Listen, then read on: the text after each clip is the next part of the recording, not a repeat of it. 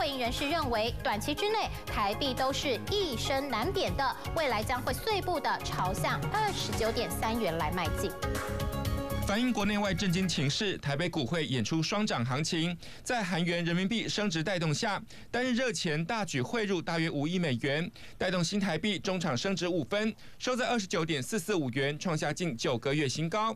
外资也对台股连九买，九月一号以来的三十个交易日当中，只有卖超三个交易日，累计买超金额达到一千六百三十一亿元，推升台股由八千零二十一点上涨到星期二收盘八千三百六十七点，外资再度成为波段的大赢家。会的，从五月二十二号就放出要 taper taper 的消息，所以这个钱呢，实际上是从东南亚跑到东北亚了，而东北亚就是韩国跟台湾。所以你可以看到，最近一两个月的韩国跟台湾，这压力就很大。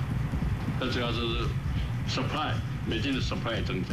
会议主管指出，新台币汇率升破二十九点五元之后，下一个关卡将持续挑战二十九点三元，前波高点是一月二十五号的二十九点二五元。